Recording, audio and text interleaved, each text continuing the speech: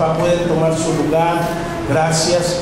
Y bueno, le invito al pastor Amu que va a compartirnos eh, lo que sigue, por favor. Sí, gracias, Mu. Bienvenido. Es un gusto estar aquí nuevamente y hoy eh, queremos tener un punto importante. Muchas personas ahora se preguntan cómo es que surge todo esto.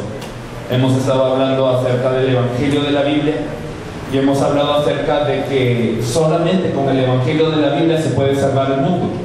Lo único que puede salvar el mundo es el Evangelio de la Biblia. Y Dios está haciendo la evangelización mundial con el Evangelio de la Biblia. Hoy quiero tomarme un tiempo para darles un recuento de cómo esto ha sido. Cómo es que Dios nos ha empezado a guiar, cómo es que Dios empezó a meternos dentro del cumplimiento de su obra y ahora Él nos llama hasta este punto.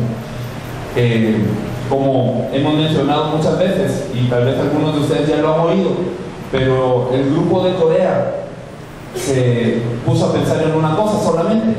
Hoy vemos a muchas iglesias, hoy vemos a muchas instituciones de misiones, muchas personas apasionadas para poder dar su vida por el evangelismo. Hay muchas personas que han entrado a lugares recónditos de la tierra compartiendo el Evangelio, han traducido Biblias a idiomas de, de una minoría de gente, todo con el afán de poder cumplir la gran comisión. Y a pesar de que hay tanto esfuerzo y el Señor ha permitido tantas cosas y la gente está entregando su vida, hoy las iglesias como tal no pueden hacer el evangelismo. Hay muchas iglesias que están saliendo, sí, pero no se ve lo que está ocurriendo en el libro de los hechos y lo que está ocurriendo hoy en día no coinciden, no encajan, no hay una congruencia en cuanto a esto. Y entonces nos preguntamos por qué, qué es lo que falta. ¿Acaso será que falta esfuerzo? ¿Acaso será que falta una mejor estrategia? ¿Acaso será que falta que la gente se dedique más? ¿Será que falta una oración más, más apasionada? ¿Qué es lo que falta? Y el Señor permitió que se diera una cosa. Lo que hace falta realmente es el Evangelio que da vida, el Evangelio de la Biblia. Y al conocer el Evangelio de la Biblia, entonces empezó a pensar, bueno, ahora tenemos el Evangelio de la Biblia, ahora tenemos esta respuesta para el mundo, ahora tenemos esto que nos ha dado vida y el Señor nos dice que esto tiene que ser compartido a todo el mundo. La pregunta es cómo, ¿cómo yo lo voy a hacer? Porque ah, tengo la respuesta, ¿cómo yo lo voy a hacer? Y el Señor esclarece en el, evangelio, en el Evangelio de Mateo, capítulo 10 y en Lucas 10, que hay que ir a encontrar a la persona indicada. Mateo 13 también nos habla de las parábolas, ¿verdad? Incluyendo la palabra del sembrador. Y esta palabra del sembrador habla de cómo es necesario que la semilla caiga en tierra buena. Hechos, capítulo 16, 17 y 18 nos hablan de que Pablo, que tenía el Evangelio, se va a encontrar con las personas preparadas para recibir este Evangelio. Y cuando está este encuentro, estas personas son claves para salvar a su región y para salvar a todo el mundo. Entonces, la respuesta es cómo. Ahora que tenemos el Evangelio de la Biblia, hay que transmitir este Evangelio de la Biblia y encontrar a la persona que se va a hacer cargo de la región, porque Dios las tiene preparadas desde el principio, desde la fundación del mundo. No se trata de alcanzar a una multitud, se trata de encontrar a este uno que va, que va al 30, al 60, al 100 por uno y que va a terminar salvando a toda la región. Como aclaraba el pastor Roberto, cuando se usa la palabra digno, es porque lo dice la Biblia, es digno pero no significa que estemos descalificando a los muchos. ¿Quiénes son los que están preparados por Dios en este momento para ir a ayudarle para que esta persona salve al resto? ¿Quién es la persona que tiene este corazón como tierra buena que Dios lo ha preparado? Eso es lo que se fue a ver. Y en Corea durante 20 años, aproximadamente más de 20 años, se dio esto en Corea. Ir a encontrar el digno en todas las regiones de Corea y Dios seguía abriendo puertas. El pastor Shaw les comentaba anteriormente cómo ocurría en Incheon, que se entraba a, las universidades, se entraba a las escuelas secundarias y esto a nivel de Corea. Y entonces después de un tiempo, el Señor permite pensar, bueno, hay que salvar el mundo y hay que hacer la entrada, pensando en que tenemos la respuesta única para la humanidad y también se tiene el evangelismo de la Biblia y corremos para el fin de la Biblia. O más bien dicho, para la venida del Señor. Porque después de ser atendidos entonces nosotros estaremos juntos con Él y estaremos alabándole constantemente.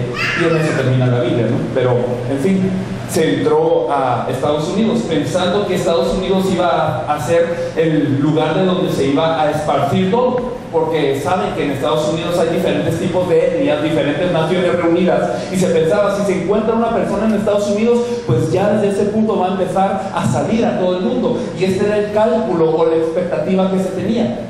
Por eso, al estar orando con mucho ayuno y entrega al Señor, eh, se hace una lista, los pastores que en ese momento estaban orando por esto, hacen una lista de los estados que, el Señor les está dando en el corazón y en todas estas listas está en común eh, Florida, está el estado de Florida. Y entonces dentro de todas estas, pues hay bastantes ciudades en Florida, ¿verdad? Y eh, la que coincidía era Miami, se entró a Miami. Y se hicieron varios intentos para buscar al libro. No se conocía a ninguna persona ahí en Miami, solo se entró, no se conocía a nadie. ¿Qué hacemos? Bueno, hay que ir a encontrar el digno. ¿Cómo encontramos el digno? Bueno, en Miami, entonces, ¿quién puede salvar a toda Miami? Ese es el objetivo. ¿Quién va a salvar a toda Miami? ¿Por qué se destaca Miami? Pues es una, es, es una ciudad que está llena de, de, un alto avance económico, es una ciudad en donde muchas personas van a pasar sus años de, de, después de que están jubilados, las van a pasar allí. Muchas personas que hacen negocios van allí, hay hospitales famosos allí, hay universidades prominentes allí, y entonces entraron a todos estos campos con esta única meta, ¿quién es el que va a terminar salvando todos ellos? Se enviaron las cartas a los empresarios, se fueron a visitar los hospitales, se entró a las universidades, y en todo esto eh, el Señor nos va guiando y se va dando cuenta el equipo de que hay una gran mayoría de latinos en Miami, más que cualquier otra etnia. Pero de todos estos latinos, eh, hay un millón de cubanos, de todos estos latinos. Saben, ustedes conocen la situación de Miami, ¿no? Por estar cerca de Cuba y por las condiciones de Cuba. Hay un millón de cubanos, entonces puede ser que dentro de esos cubanos se encuentre la persona que va a salvar a Miami. Vamos a los cubanos. Y entonces al estar tocando puertas se abre una organización que se llama EcoCuba. Y esta organización es una organización que ayuda a Cuba desde Miami enviándoles fondos y Biblias a Cuba. Ellos abren las puertas y el director de esta organización eh, recibe al equipo, se le comparte el Evangelio, porque esto es lo que hace falta en el mundo, qué es lo que tenemos que hacer, que es la evangelización mundial y qué se tiene que hacer. Cuba en este momento lo que necesita no son Biblias, no es fondo de misiones solamente, lo que necesita es el Evangelio. Y el pastor recibía muy atentamente, pero la persona que estaba al lado, que era la secretaria, es la que se puso a llorar. Y entonces esta secretaria después de un momento sale y después regresa y comenta al equipo que su pastor la semana pasada estaba diciendo que Miami era una región que no evangelizaba. Estados Unidos no está evangelizando, aunque el Señor dice que tenemos que evangelizar. Entonces, ¿qué tenemos que hacer? Evangelizar. Y después de esta prédica vienen ustedes, decía la secretaria hablé con el pastor y él quiere encontrarse con ustedes. Entonces nos encontramos con este pastor, se le comparte el Evangelio y conjunto con él se le empieza a ayudar constantemente. Y lleva un proceso de unas cuatro entradas a Miami y reiteramos esto. Nuestro objetivo es hacer la evangelización del mundo. Y por eso todo lo que hagamos es el servicio de la evangelización del mundo. Esto quiere decir, sufragamos nuestros propios costos. ¿Por qué? Porque nuestro único deseo es ayudar a salvar esta región. Entonces es natural que nosotros sufraguemos los costos para esto. Entramos y no pedimos nada. No queremos formar una nueva denominación, ni una organización, ni un organigrama. ¿Por qué? Porque en el momento en el que nosotros formamos una organización nueva, ¿qué pasa? Las demás denominaciones ven esto como algo distinto. No es ese el objetivo. Dentro de todas las denominaciones, dentro de todas las organizaciones, hay gente que está esperando el Evangelio, que está sedienta, pensando algo necesito yo y algo me quiere decir Dios, pero yo no sé. En todas las organizaciones hay. Entonces nuestro papel es quitar nuestro tinte, quitar todo lo que nos pueda caracterizar para simplemente entrar y decir, este es el Evangelio dejar allá nuestro criterio, dejar atrás nuestra teoría, nuestro todo lo que nosotros podamos poner nuestras preconcepciones con tal de poder compartir el evangelio. Pablo lo hacía de esta forma también, ¿verdad? Al judío se hacía judío, al griego se hacía griego, pero lo que no perdía es el evangelio. En fin, entonces es todo esto empezamos a compartir con esta iglesia. Es una iglesia que no evangelizaba y esta iglesia, eh, un ejemplo muy eh, ilustrativo para esto es que en una ocasión se dijo a los miembros de la iglesia, después de haberse les compartido el evangelio, vayan y evangelicen. Y si a ustedes les cuesta hablar, si ustedes no saben qué decir, vayan y den 10 tratados a las personas que ustedes encuentren mañana. Adivinen cuántos llegaron habiendo entregado los 10 tratados. Ni uno. Entonces, algo así estaba la iglesia. Una iglesia que estaba alejada del evangelismo. Pero después de estas visitas empieza a ocurrir que estas personas cobran vida y empiezan a compartir por doquier, van incluso a los centros comerciales a tocar a cualquiera que no conocen y dicen, ¿usted quiere conocer el Evangelio? Y dentro de todas estas personas, si pareciera que no va a dar resultado, pero hay gente que dice, sí, yo estoy esperando a que alguien me comparta el Evangelio. Y entonces esto se empieza a dar en esta iglesia. Y el pastor de esta iglesia entonces se impresiona y dice, yo me he impresionado por el Evangelio de la Biblia, por el evangelismo de la Biblia y por el corazón que ustedes tienen de hacer la evangelización del mundo. Y entonces ese pastor es el que empieza a abrir los contactos. ¿Qué es lo que pasaba? Entonces, como mencionaba el pastor Roberto, cuando se encuentra en un grupo etíope y él entiende el Evangelio, él va a salvar a su región y entonces él da su vida para salvar a las demás regiones.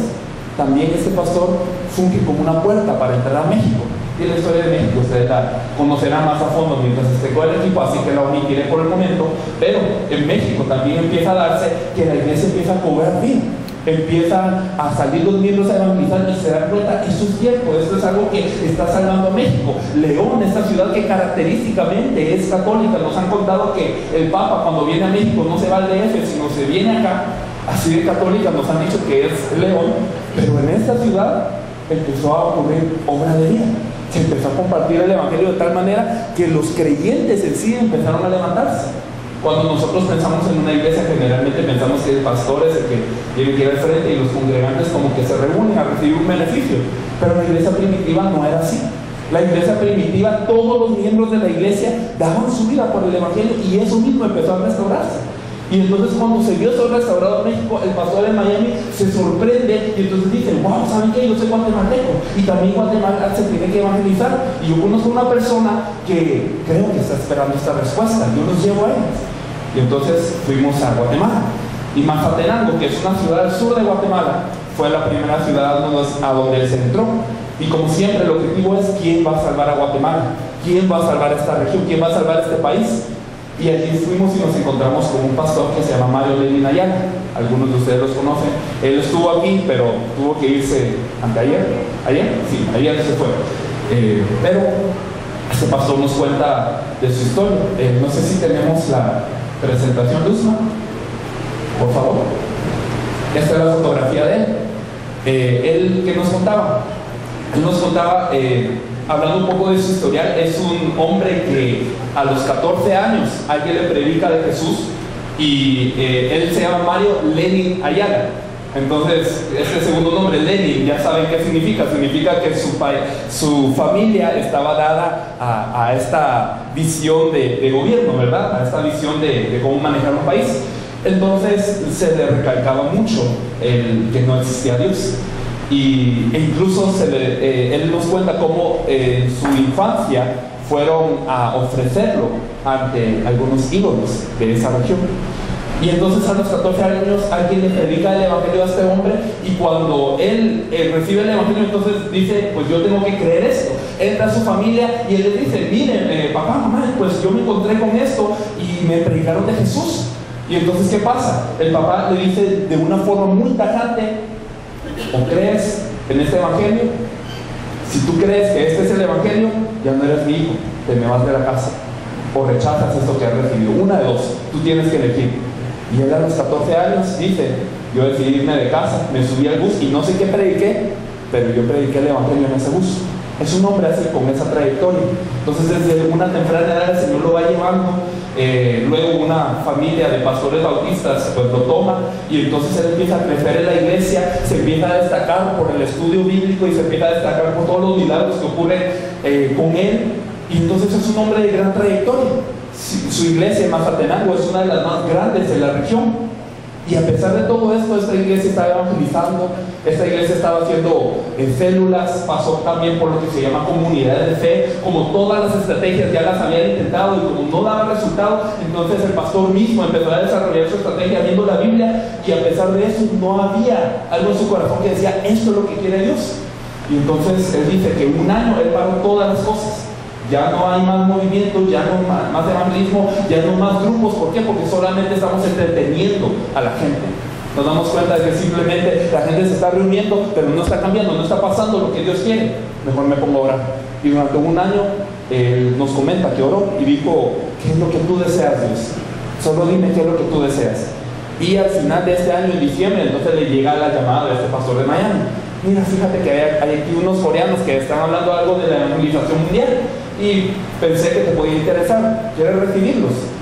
Y él entonces pensando que podía ser la respuesta de Dios dijo, está bien. Entonces durante una semana estuvimos con él, platicando con él y su iglesia y él después de esto nos dijo una cosa. Yo pienso que es como que, bueno, lo comenta muy seguido, es como que hubieran pasado un pan recién horneado y me lo vienen y me lo muestran así y luego, se, y luego me lo quitan, porque fue algo tan rápido, fue algo tan delicioso, pero, pero yo no lo pude entender, ¿sí? Y entonces él se quedó con todo el material y él nos comenta cómo con este material empezó a escudriñar la Biblia a ver si lo que decían estos coreanos es cierto, a ver si esto no es sectario, a ver si, le, si hay algo que no está bien acá, pero yo voy estudiando. Y se puso a leer toda la Biblia otra vez con este material de mano. Y entonces después de unos seis meses aproximadamente, regresamos a Mazatenango con él y, y él en esta foto misma nos está diciendo, yo experimenté toda la Biblia y me doy cuenta que sí, este es el mensaje de toda la Biblia. Jesús es el Cristo, no hay otro mensaje. Entonces yo lo que empecé a hacer es digerirlo como pude y empecé a escribir. Eh, empecé a escribir para mi congregación para explicarles dos cosas. ¿Por qué yo tengo que evangelizar? ¿Y cómo yo tengo que evangelizar? Y entonces él empezaba a hacer esto y la iglesia en sí empezaba a captar el mensaje. Y él llegó hasta tal punto de decir, bueno, yo entiendo que esto no solamente es para Guatemala, no solo es para salvar a Guatemala, sino también se tiene que salvar todo el mundo con este evangelio. Así que a mí me gustaría que entrásemos juntos a El Salvador y que entráramos también a Nicaragua. Él es director en Guatemala de una organización que se llama Alfalí, que ayuda a las personas que, que no tienen, eh, que son analfabetas y también ayuda con microcréditos a algunas personas que quieren empezar su negocio. Pero, en fin, él, conectado con estas organizaciones dijo, vamos a llevarles el Evangelio. Y así se visitó El Salvador, se visitó eh, Nicaragua, ya escucharon un poco de El Salvador ayer, cómo es que después de varias entradas, al principio entramos eh, de una forma muy prominente, fuimos a estaciones de, radio, fuimos a emisoras de televisión y nos pedían, compartan el mensaje. Y sí, había una gran restricción, sí, este es el mensaje, aleluya, gloria a Dios, pero ninguno que fuera a dar la vida para poder salvar a la región. ¿Y cuál es el objetivo? ¿Quién va a salvar a El Salvador? ¿Quién va a ser esta tierra humana que produzca los frutos para terminar salvando a El Salvador? Y entonces nos encontramos con muchas personas eh, nos encontramos con el director de las asambleas de Dios en, El Salvador, Jeremías Bolaños, nos encontramos con él, le compartimos el Evangelio y simpatizó con el Evangelio, pero hasta ahí. Fuimos a encontrarnos también con un hombre que está al frente de un movimiento que se llama Tomando mi Nación, y, nos invitó a su, eh, a su programa de televisión, nos dijo, les voy a hacer tres preguntas y nos terminó haciendo 16. Y al final de cuentas, eh, él quedó impactado de una forma muy conmovido de lo que estaba pasando, pero no dio su vida por el Evangelio. Y en fin, así tres entradas y después nos encontramos con la pastora Mabel. Esa historia ya la saben ustedes. Nicaragua también fue un país eh, en donde entramos y constantemente fuimos a hablar con varias personas. Gracias hablamos con varias personas y eh, nos encontramos incluso con un pastor que era candidato a la presidencia. Eh, se llama Osorno, se apellida Osorno este pastor, y al escuchar el Evangelio todos reaccionaban de una forma positiva diciendo, sí, eso es bíblico, esto es lo que se tiene que hacer, ayúdenos a evangelizar. Pero quiero aclararles algo, uno puede llegar hasta un punto de evangelizar, a un punto de hinchar su iglesia con el Evangelio pueden llegar a utilizar el Evangelio como para un beneficio de su iglesia.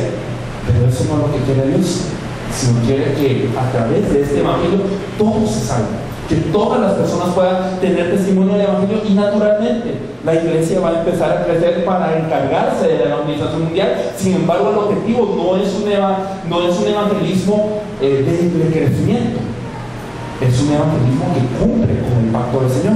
Así que muchas personas reciben el Evangelio, pero como un buen método, como una buena estrategia, como un mensaje bonito que se me va a acabar en algunos días.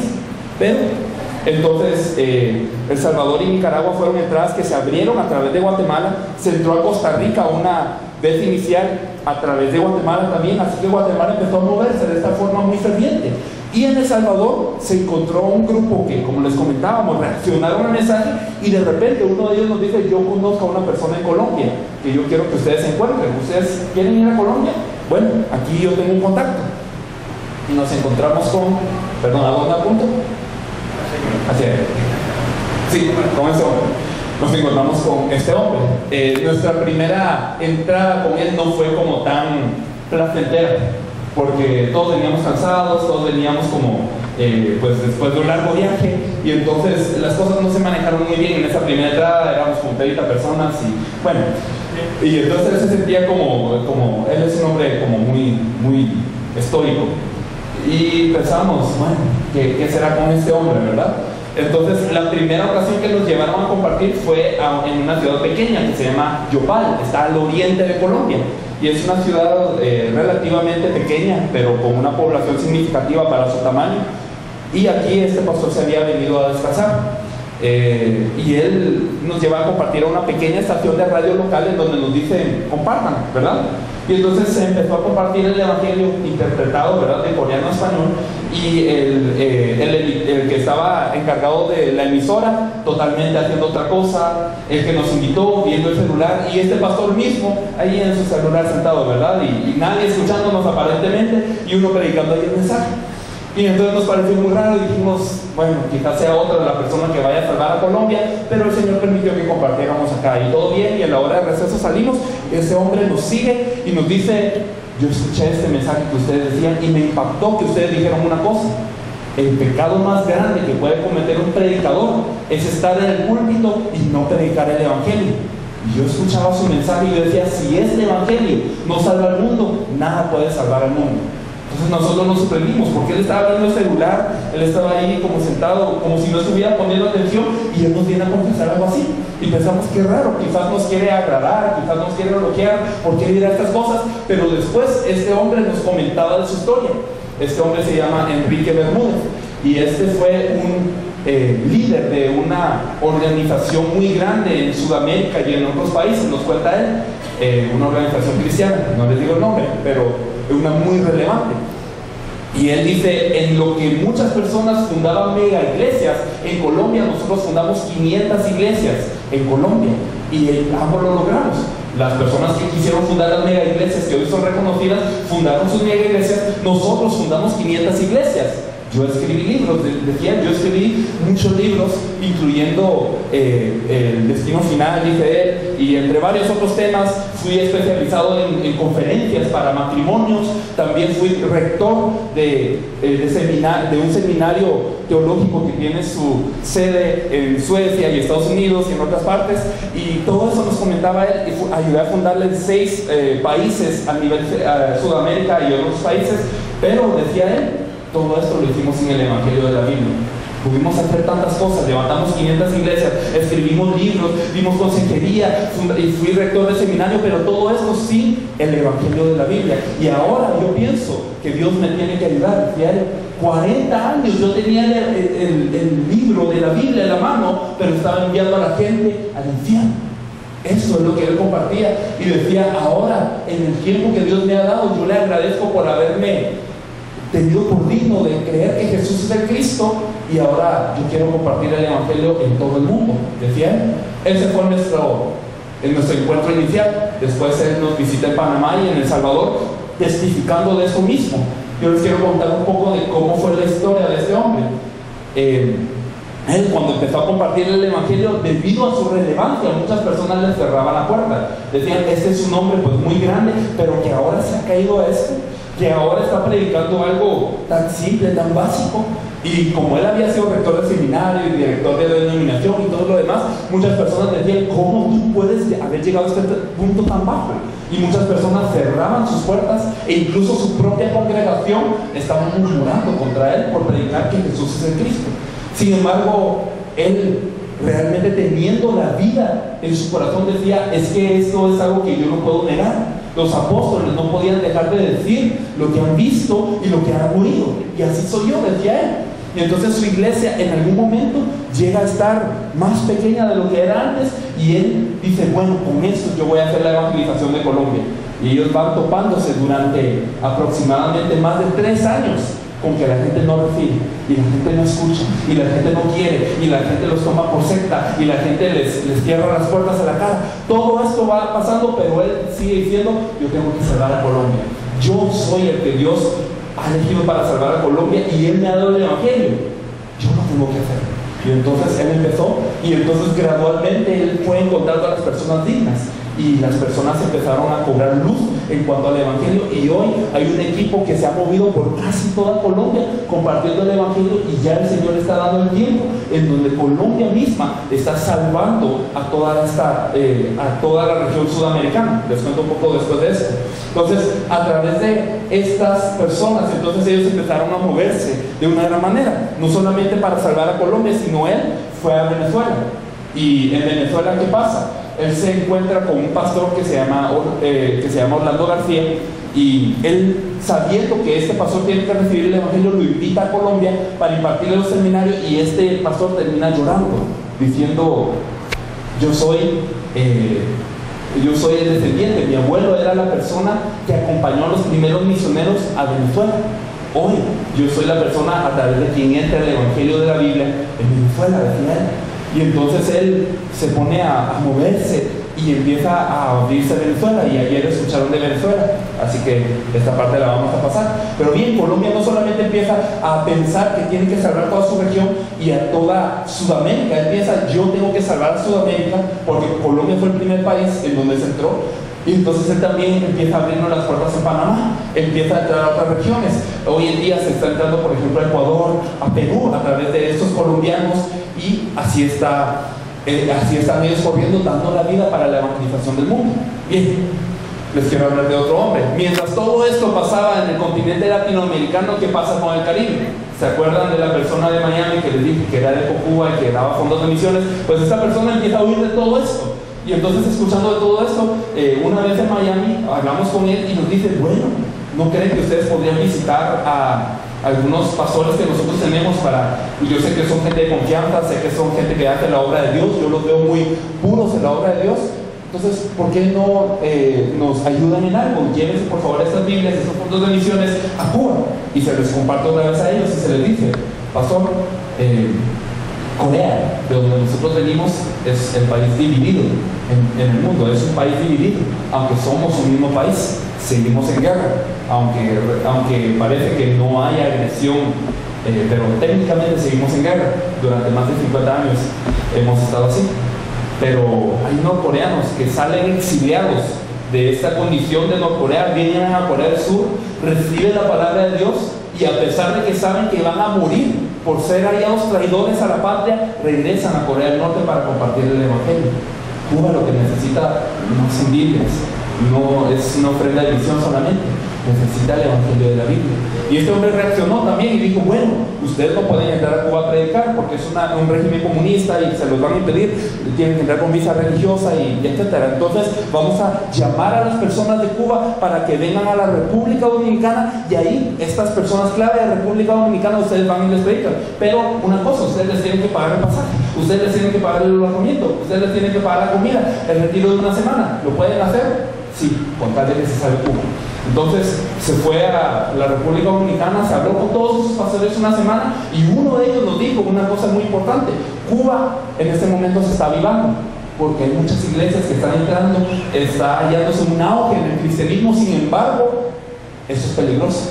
¿Por qué? La iglesia se aviva, la iglesia crece, pero lo hace sin el Evangelio de la Biblia, por eso es peligroso. Por favor, entren a Cuba y ayúdenos a salvar Cuba. Entonces, por el y ya, eh, por el llamado de este hombre llegamos y entonces tres ocasiones estuvimos en Cuba.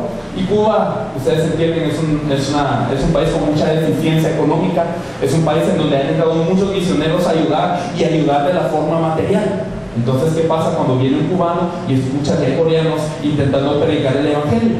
Entonces, hay un cierto nivel de, de expectativa en cuanto a lo material. Y está bien, damos todo lo que tenemos.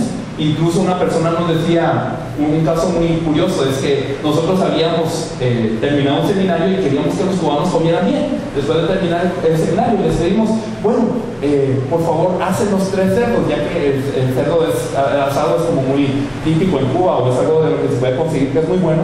Y entonces les dijimos, por favor, hacen, nosotros nos encargamos del costo, queremos invitarles a comer. Tres cerdos asados, bien. Y cuando llega la cuenta, entonces, el día siguiente ellos mismos lo asaron y todo, y ellos después al pedirnos el dinero, entonces vienen y nos piden el precio de 10 cerdos. Y entonces, bueno, nosotros vimos tres ahí asándose. Eh, comimos tres, pero ¿por qué hay, hay, hay 10 aquí registrados? Ah, es que nos comimos los otros siete cuando ustedes no estaban. Entonces, uno entiende de qué se trata esto, ¿no? Pero aún con todo esto, ¿quién es el digno de Cuba? ¿Quién es la persona que va a salvar Cuba? Aún siendo estafados, pero está bien, ¿quién es el digno de Cuba? Y tres ocasiones entramos y no se halló nadie, hasta que la tercera ocasión se halló este hombre. Este hombre es un hombre que es de la denominación nazarena, es encargado de la mitad, o era encargado de la mitad de toda Cuba en cuanto al evangelismo. En 23 años fundó 86 iglesias, un hombre que fue también eh, maestro de seminario y él al escuchar el mensaje decía, yo siento que, yo, yo, he crucificado a Jesús durante estos años. Me siento como los que crucificaban a Jesús porque durante mucho tiempo compartía a Jesús como Señor, compartía a Jesús como Salvador, pero nunca lo pude compartir como el Cristo. Entonces yo estaba engañando a la gente. Él nos contaba de una historia de cómo él también hacía campañas evangelísticas y había gente que se sanaba del cáncer. Y entonces él iba después de una semana, él, nos mencionó el caso de una niña que fue sanada de cáncer y entonces después él visita esta región después de una semana para ver cómo está y esta niña sanada de cáncer está adorando a los ídolos. Y entonces él decía, pues, ¿qué hemos hecho? ¿Por qué no funciona la cosa? Y entonces después de escuchar el mensaje ahora yo sé por qué con este hombre, entonces se le comparte el Evangelio de la Biblia y él lo dijera hasta tal punto que viene y le pide perdón a la iglesia. Discúlpenme, le dice a todos los seminaristas que están allí, a todos los estudiantes de seminario. Y entonces la gente dice, bueno, ¿y, este hombre qué? ¿Habrá adulterado? ¿El pastor no cayó en pecado? ¿Qué, qué pasó? Y él, y él sigue diciendo, discúlpenme porque yo nunca en mis años de docente les había enseñado lo de la Biblia, yo les eh, prediqué un evangelio que era distinto, que era diferente, que los desvió. Perdónenme, desde ahora yo les quiero predicar el evangelio de la Biblia. Y la gente, entendiblemente, pues se a ir diciendo: Este hombre era enloquecido. En su propia iglesia hizo esto, y de todas las personas que estaban ahí, él nos cuenta que era una cantidad mayor a 50 personas, se quedaron 8. 8 se quedaron. Y entonces, bueno, con estos 8 vamos a empezar, decía él y con esos ocho empezó a profundizar en la palabra, empezó a entrar dentro de la palabra y entonces ellos cobraron tanta vida que empezaron a compartir la palabra en todo lugar que iban y en el periodo de aproximadamente cinco meses se fundan diez iglesias nuevas en esta región.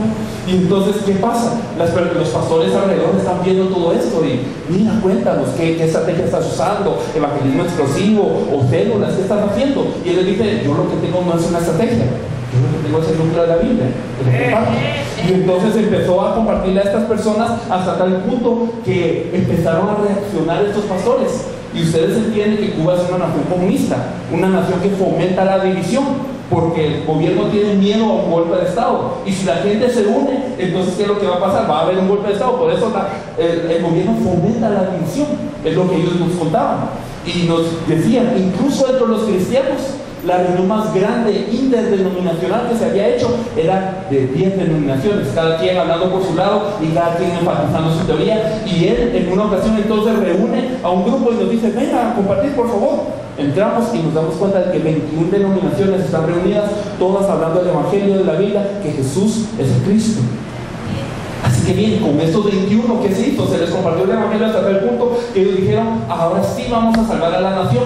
Empezaron a organizarse para que en febrero de 2018 se pudiera entrar y que en esos lugares en donde ellos se habían organizado se dieran conferencias y entramos personas de distintas naciones. Entró el equipo de México, entró El Salvador, entró eh, pues otros equipos. Venezuela no estaba en ese entonces, pero eh, entraron otros equipos y entonces nos distribuimos en todas las, en todas las provincias de Cuba y se empezó a dar seminarios, se empezó a compartir con los pastores y hay pastores que han reaccionado así como ustedes en ese, en ese lugar y se resultó para que formaran un equipo para salvar a toda Cuba.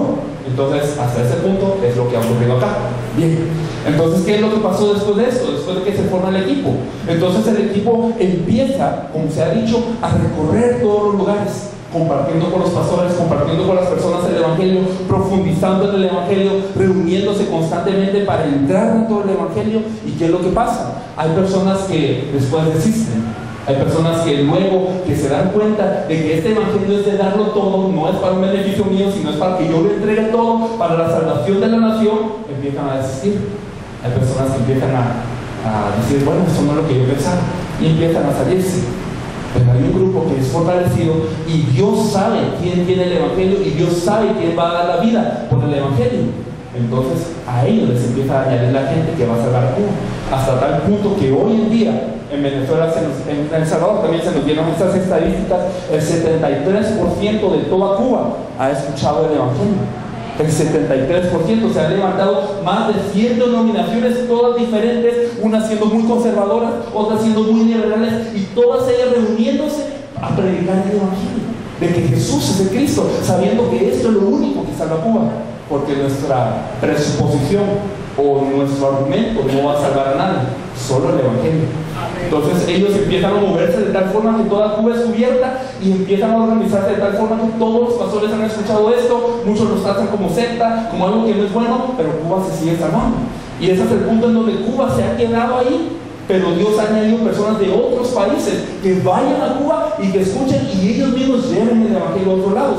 Corrientemente me dicen, me dijeron como hace tres días que una persona de Canadá llegó ahí y que recibió el Evangelio allá en Cuba, un director de una institución muy importante, también hay personas de Angola que han recibido el Evangelio ahí y ellos ahora se han ido a Haití y a Guyana para buscar a los dignos allá en Cuba.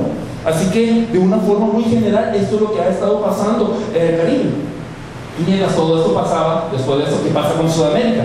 En Miami otra vez se comparte el Evangelio y se halla que hay personas latinas que vienen de, eh, que, vienen de Argentina y de Chile y ellos escuchando el Evangelio nos decían, por favor, entren a nuestros países a salvar a Argentina, entren a salvar a Chile. Y entonces, ¿qué es lo que pasaba? Nos encontramos con estos pastores que uno cuando piensa en un argentino piensa en una persona como un poco rubia, un poco europea, ¿verdad? Pero ellos son los que estaban recibiendo el Evangelio cuando entramos a Argentina. Y entonces hablamos con ellos y al recibir el Evangelio ellos decían, ese es el evangelio que nosotros estábamos buscando y ahora queremos salvar a nuestro país con esto. Nosotros hemos vivido en Argentina mucho tiempo, pero somos bolivianos. Queremos salvar a Bolivia con este evangelio. Más adelante, este otro pastor, eh, el que está aquí es el pastor Fabián, por cierto, eh, este otro pastor es, el pastor Ángel Miranda. Y este pastor, eh, recordamos vívidamente cómo derramaba lágrimas al escuchar la conferencia, se salía a su carro, pateaba su carro un par de veces, regresaba y entonces seguía escuchando, pero él después nos confesaba, es que yo me sentí como que yo era el mentiroso más grande de todo el mundo, porque yo sufría siendo pastor, decía él, agarraba un versículo acá, agarraba otro acá, y entonces armaba mi mensaje con tal de conmover a las personas y veía algún problema en la iglesia e intentaba arreglarlo así, pero no, no se podía. Yo me encargaba, mi matrimonio está en ruinas, pero ahora yo escucho el Evangelio que Jesús es el Cristo. Y ahora Dios me está dando una oportunidad. Él también es boliviano argentino. Él, nació en Argentina, pero es boliviano, él tiene ascendencia boliviana. Y esos dos se van a Bolivia y encuentran a una persona que también reacciona al Evangelio de la Biblia. Luego se van a Perú y así constantemente se están moviendo para salvar a su país. Eso es Argentina. En Chile, también un chileno generalmente uno se lo imagina como más rubio, más blanco y todo lo demás. Fuimos a compartir con, los, eh, con las personas de varias denominaciones allí. Se juntaron varias denominaciones, los obispos de esas denominaciones y escucharon el mensaje. Y una de las personas que escuchó es este. Hay otros que reaccionaron también, pero este es alguien de, de, notoriedad. ¿Por qué? Porque él eh, nos decía, yo he escuchado el Evangelio y quiero salvar a España con este Evangelio, pero también quiero salvar a Pakistán, mi país, con este Evangelio. Un hombre pakistaní que estaba en Chile, que quería salvar a España, que había sido invitado por una, persona de Brasil a una conferencia de coreanos. Pero, pero Dios así ha abierto las puertas. y entonces él eh, nos invita a Pakistán para esto siguiente que les voy a decir. Así que Latinoamérica en general, esto es lo que ha estado pasando durante los últimos años. Este es un mapa de cómo se ha recorrido. Ven que es bien desordenado, pero se los voy a explicar para que lo puedan ver en, un, en una imagen. Así que desde México, eh, México está más para allá, forma parte de Norteamérica, pero eh, Guatemala, el que lo ven a la esquina, perdón, esto tiene, bueno, gracias. Guatemala aquí entonces empieza a moverse El Salvador, empieza a distribuirse en Nicaragua, El Salvador entonces eh, también está cansada, El Salvador se va a Honduras, El Salvador se va a Nicaragua, El Salvador está entrando a Costa Rica, Guatemala entró a Belice también, eh, Colombia también, eh, por El Salvador fuimos a Colombia, Colombia entonces nos abre Venezuela y Panamá, Venezuela en este momento está viendo Brasil, está yendo a Perú, Cuba que estaría por acá realmente, ellos empiezan a entrar a Guyana, ellos empiezan a salvar también Haití. Eh, de Estados Unidos, entonces se abre eh, Argentina, se abre Chile y ah, también Venezuela está entrando a Paraguay, por cierto, de Argentina entran a Bolivia, eh, aquí no lo puse, pero Colombia está entrando a Ecuador también y de aquí de Chile entonces nos pasamos para Asia.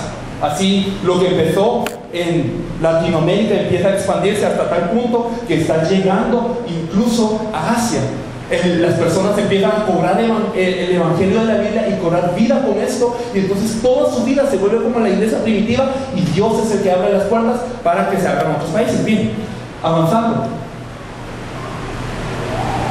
Ok, este pastor es el pastor Darshan el pastor de Pakistán, ¿se acuerdan? Él nos abre las puertas a Pakistán y en estas, este pastor escucha el mensaje. Él es un pastor de los eh, Emiratos Árabes, él, está, él es pakistaní, pero está en los Emiratos Árabes y él recibe el Evangelio de los Emiratos Árabes diciendo, ahora yo entiendo por qué es que todas las personas tienen problemas que no se pueden resolver.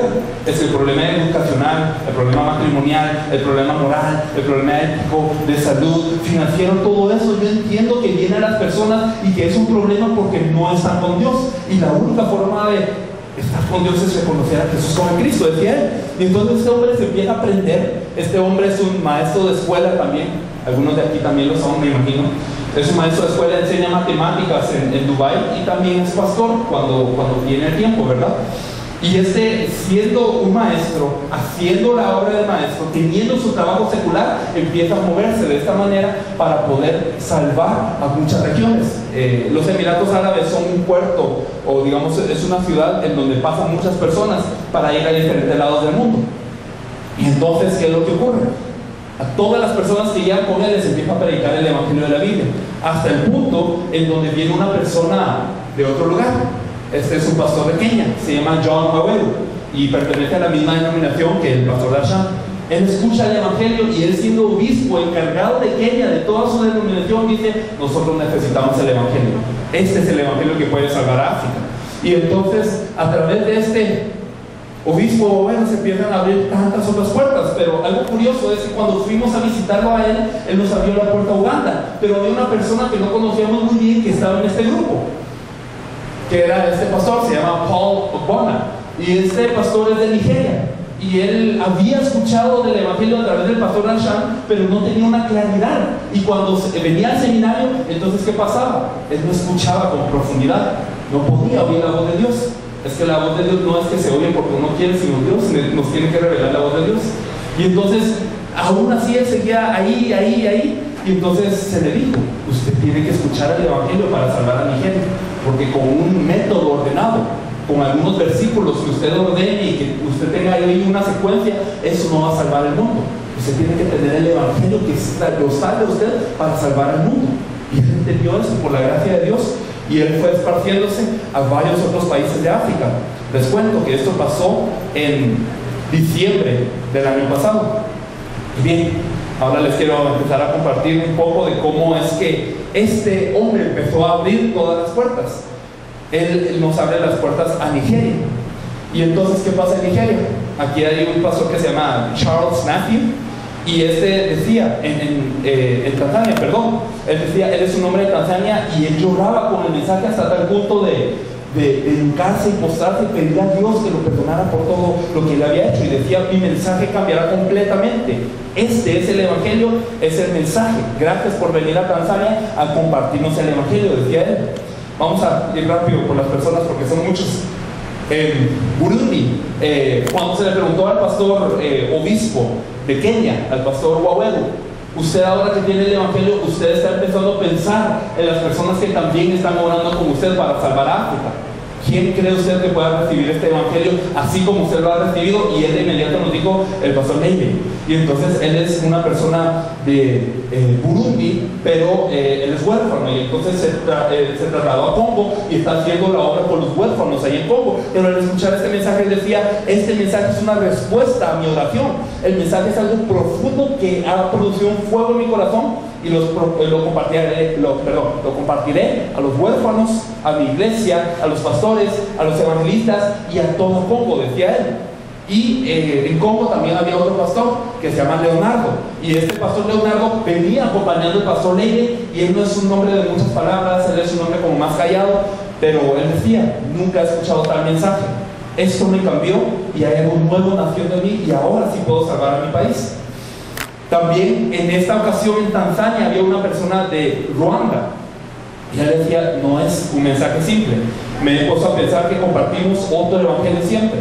Decía, los pastores comparten como si fuese un negocio. Este mensaje es fuerte y la revelación vino precisamente en el tiempo correcto. La gente busca un nuevo Jesús hoy. Ese es el evangelio correcto y quiero ayudar a muchos con el evangelio. ¿A qué se refería él con un nuevo Jesús? Que la gente busca un Jesús porque ellos están atribulados por la guerra, están atribulados por la condición, y entonces la gente les predica a un Jesús que, que te va a, remediar los problemas del día a día. Pero la gente ha ido descubriendo que ese no es el Jesús de la Biblia. Entonces, por eso decía, la gente busca un nuevo Jesús, diferente del que nosotros habíamos conocido hasta ese entonces. Eso fue en Tanzania.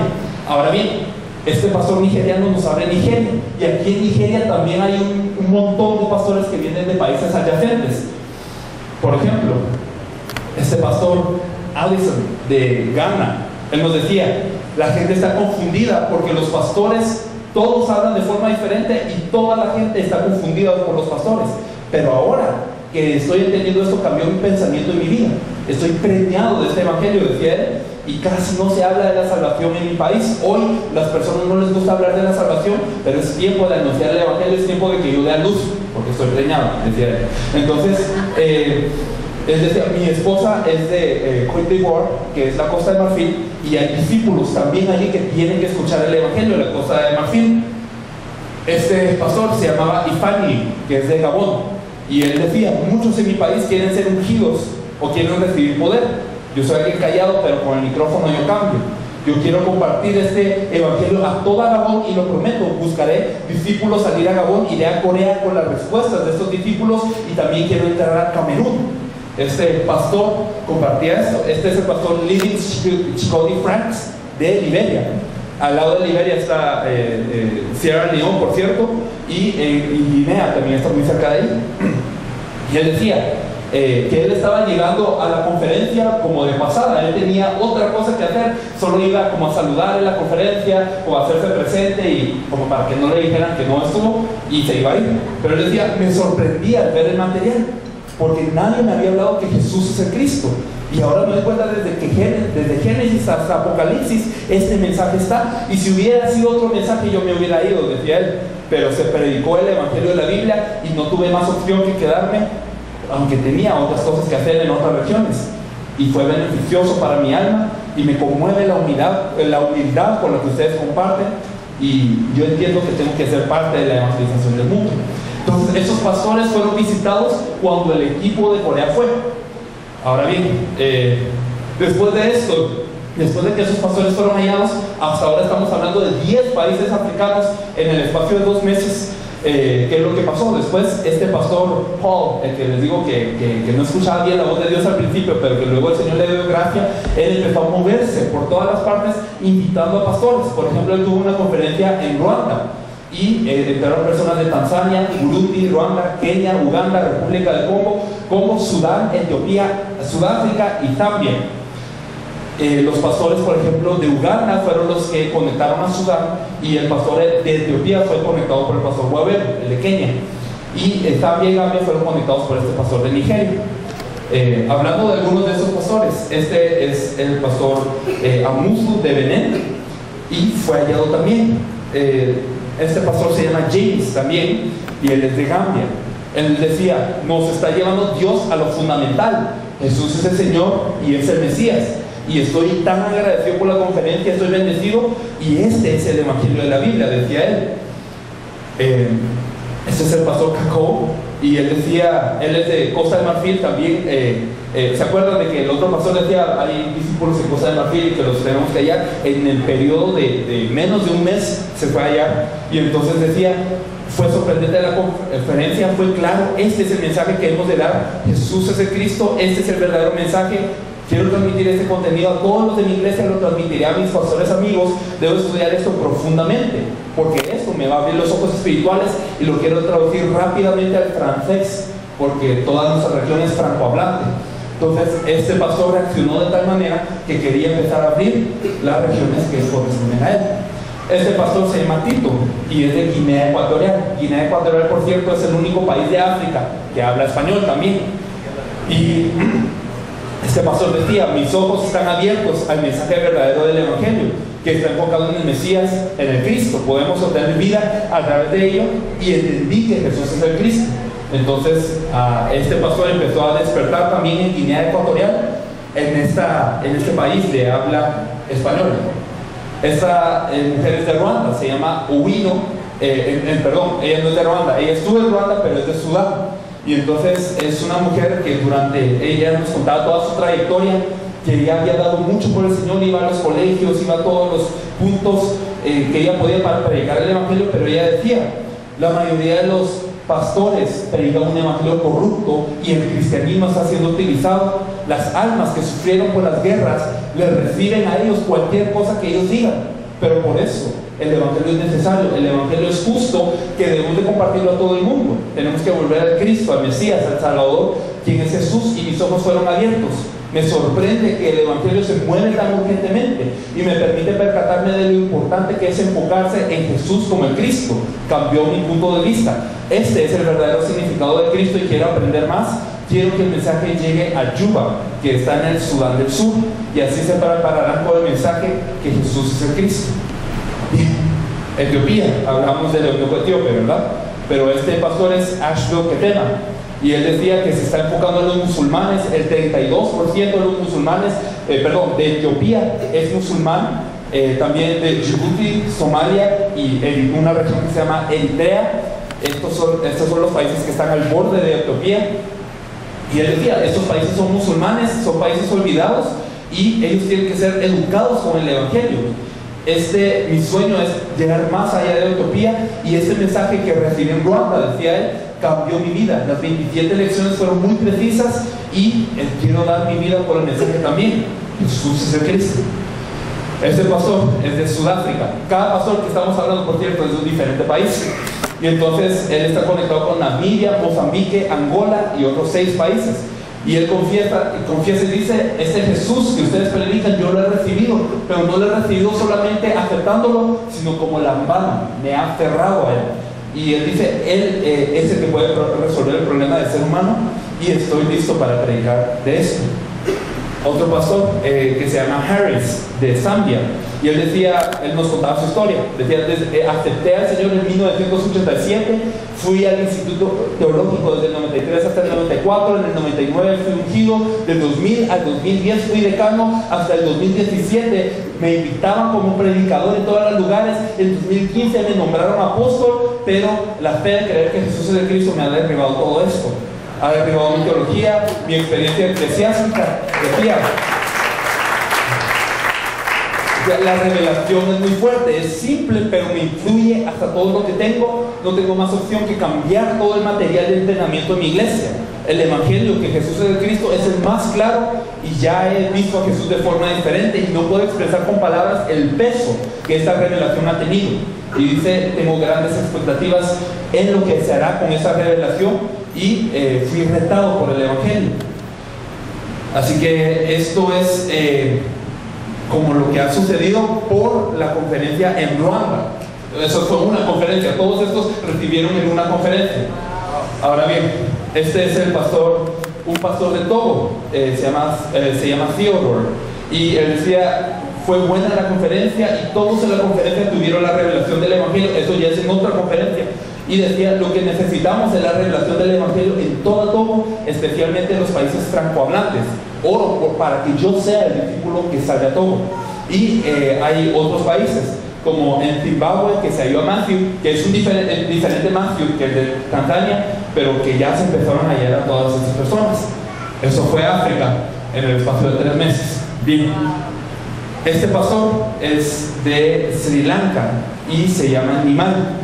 El pastor Dachan, ¿se acuerdan del pastor que está en Emiratos Árabes? Él en sus fines de semana se mueve a un país diferente, siempre y está viendo países diferentes. Él se fue a Nepal y un pastor que se llama Anil de Nepal, no es el de la foto, pero el otro dice, este es el mensaje de la Biblia y eso lo necesitan tanto los creyentes como los no creyentes y todas las iglesias deben de compartir esto. Este pastor en Sri Lanka eh, tiene 38 años de pastor, pero ha corrido con ese mensaje también, está empezando a correr. Este es el pastor Nanok de Bangladesh y él está también siendo alcanzado por este mensaje. Hay otro pastor que se llama Goori de Kuwait que dio las lecciones en video, pero con los videos él fue impactado y luego invitó al pastor Darshan para que se lo comparta. También se está compartiendo con discípulos de India, Oman y Qatar. Esto será a, bueno, ya pasó en principios de marzo, pero no nos han dado todavía el informe. Y también a través de este pastor Paul, el de Nigeria, se abrió una persona de Bélgica.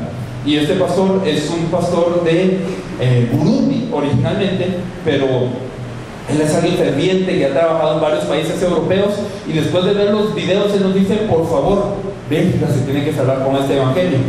Y en Oceanía se ha entrado, y para no hacerle la historia tan larga, se encontró una pastora, eh, a, un, a una persona, a una evangelista que se llama René, en Nueva Zelanda, eh, nos han contado que es como la, como la Diana de Nueva Zelanda, y entonces uh, ella reaccionó y nos conectó a un pastor que está en Australia, que se llama Derek, pero él es de Sudáfrica. Entonces, ¿qué les quiero decir con todas estas cosas? Vamos a ver primero el mapa de lo que ha ocurrido, porque yo sé que hemos hablado de muchos países, pero para que lo visualicen, esto es África, ¿sí? Y en el espacio de, de tres meses se ha abierto así empezando desde Kenia, se pasó a Uganda y luego se pasó después a Tanzania, luego en Nigeria empezaron a abrir las puertas de todos estos países y todos estos países que tienen flechas son, eh, son países condignos. Entonces se dan cuenta de que prácticamente esta parte central de África es en la que se han estado moviendo muy fuertemente y también un poco al sur de África el Señor ha estado abriendo puertas. ¿Qué es lo que resta por hacer? Estas personas de África, todas son eh, son impactados con el Evangelio, todas estas recibieron el Evangelio y ellos quieren aprender y quieren salvar a sus regiones. Se ha encontrado a uno de cada uno de estos países y todos ellos están dispuestos a salvar a sus países. África tiene 52 países y hasta el momento, en, en ese espacio de tiempo, se han abierto 23 países. Se han hallado dignos en 23 países de los 52 países. Bien, entonces esto es lo que ocurrió un poco en África luego les cuento más. Y esto es Asia, eh, no es eh, como tan, eh, tan alborotado, pero los países que nos contaba, Nepal está acá, se ha hallado una persona en Nepal, en Bangladesh, aquí en Sri Lanka y aquí en Kuwait. Y también hay personas en India que están participando en los Emiratos Árabes, Pakistán se está moviendo de una gran manera. No les conté de Pakistán, pero Pakistán tiene dignos que están moviéndose en diferentes partes también. Y eh, bueno, eh, hay muchos otros países de los cuales hablar. Pero al final, ¿qué les quiero decir con esto?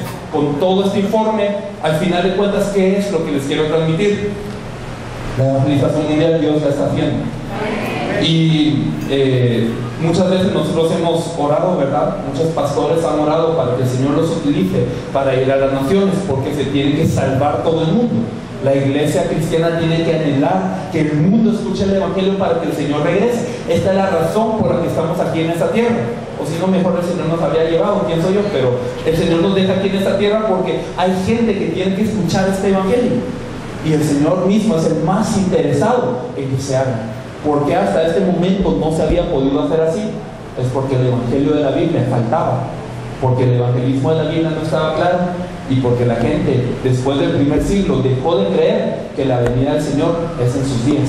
Claro, siempre que se levantó una organización para decir vamos a evangelizar el mundo, adivinen, el Señor los bendijo grandemente y los usó de gran manera y, y, entonces ellos dejaron algo muy grande, un legado muy grande y sin embargo hoy nosotros que no somos personas destacantes, personas que somos en toda manera carentes, Dios nos encarga el tesoro más grande. Somos vasos de barro, pero nos encarga el tesoro que puede salvar el mundo en Lucas, ¿se acuerdan de cómo Jesús había enviado a evangelizar a todos sus discípulos? Y después de que vienen los discípulos, los discípulos empiezan a contarle, ah, es que los demonios se sujetaban en tu nombre y ocurrían los milagros en tu nombre y todo era muy espectacular, pero el Señor les dice, qué bueno, yo vi a Satanás caer del cielo como un rayo también, pero no se alegren de eso. Lo importante aquí no es simplemente lo que se haga o el movimiento que se hizo. Eso se nos va a olvidar en algún momento. La emoción del momento pasa la euforia o el estupor del momento, el frenesí de estar reunidos y de haber estado en algo masivo, eso pasa. ¿Qué es lo que permanece? La palabra de Dios es la que permanece. Entonces Jesús le decía, acuérdense, estén felices porque sus nombres están registrados en el libro de la vida. Todo ese informe el Señor está dando como un mensaje. Toda la Biblia, todos los apóstoles, todo el discipulado, todo el evangelismo, todas las misiones es para una cosa, que creamos que Jesús es el Cristo. Pues este informe también. Todo eso el Señor lo está haciendo y todo eso el Señor lo está acelerando. Como habíamos dicho, todo eso que pasó en Latinoamérica, lo que pasamos una gran parte del rato explicando, esto fue en alrededor de 3 a 4 años que el Señor pasó. Y esto, lo que ocurrió aquí en África y en Asia, esto fue en menos de 3 meses. ¿Qué quiere decir? Que el Señor está acelerando las cosas. El Señor está trayendo las cosas a una velocidad impresionante. ¿Y qué quiere decir esto? Estamos prontos al retorno del Señor. No piensen en que van a ver al Señor de Canas. No, Piensen que lo van a ver muy pronto.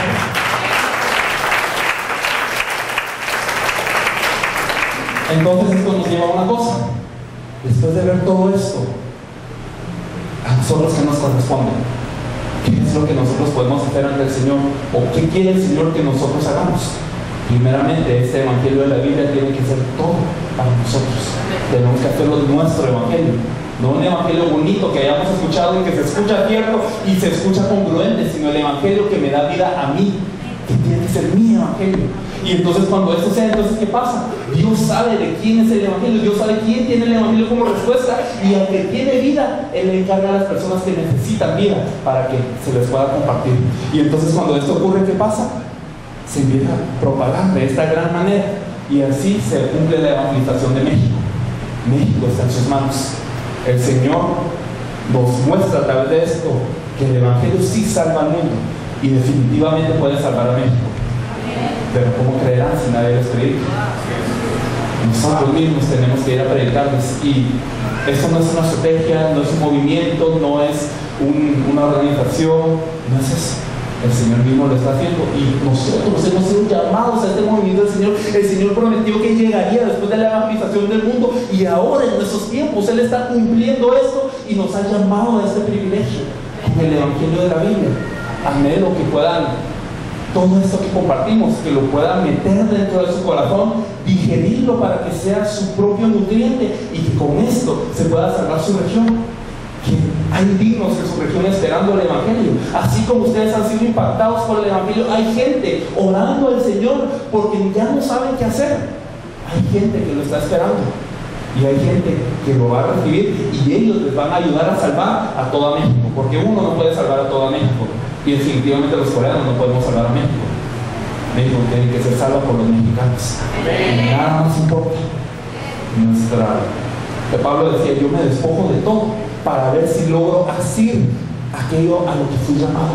Yo me despojo incluso de mis derechos como apóstol de recibir ofrenda de diario, porque no quiero que nada sea de impedimento. lo que también esto sea cierto en nuestras vidas.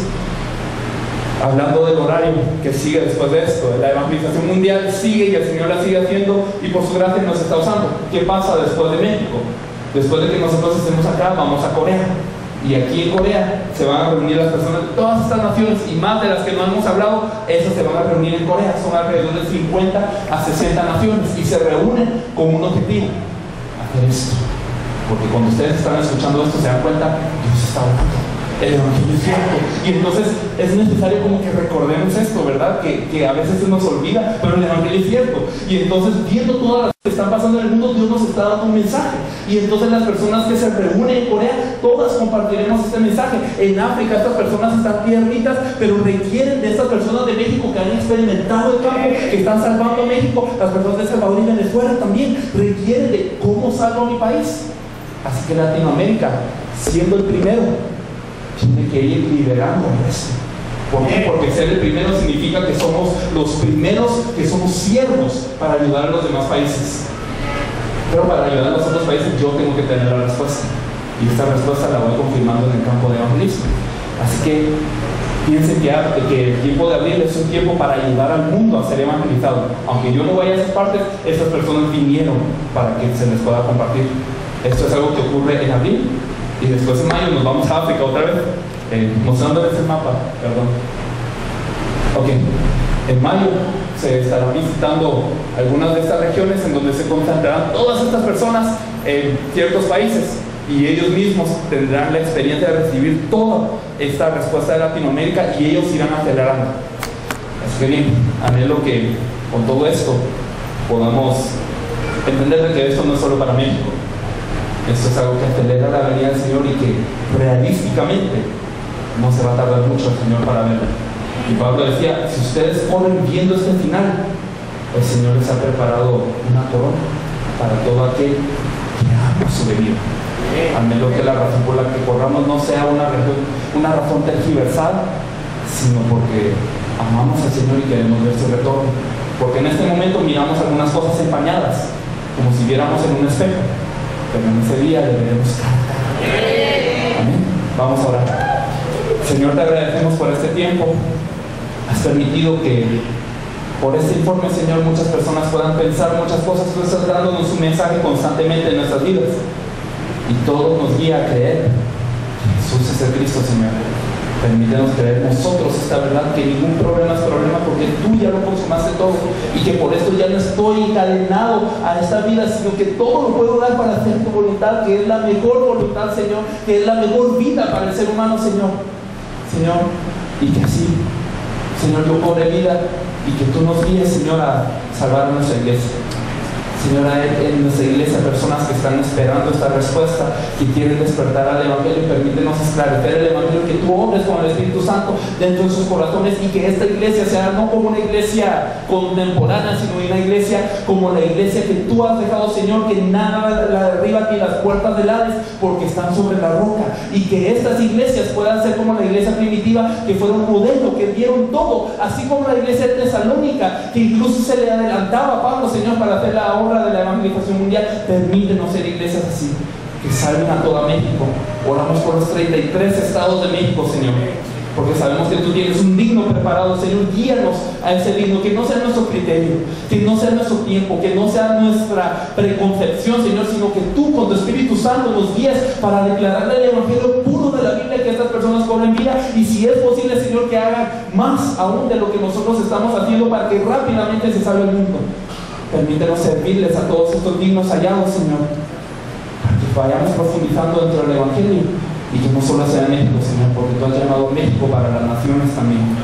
Levanta a los jóvenes, Señor, levanta a los pastores para que seamos unánimes. Y como decía el profeta Joel, Señor, que se está cumpliendo, que tú derramarás tu espíritu sobre toda carne. Y que todos, ya sea los jóvenes, los niños, los ancianos, todos, Señor, podamos estar en tu evangelio, en Jesús es Cristo, para ser hallados como siervos que están haciendo la obra, Señor. Algunos son llamados más tarde, algunos ahora, pero Señor, permítenos correr a un corazón y que en el día de tu venida nos, en día de puedas decir, soy fiel, Te agradecemos y oramos en el nombre de nuestro Señor Jesús, quien es Cristo. Amén.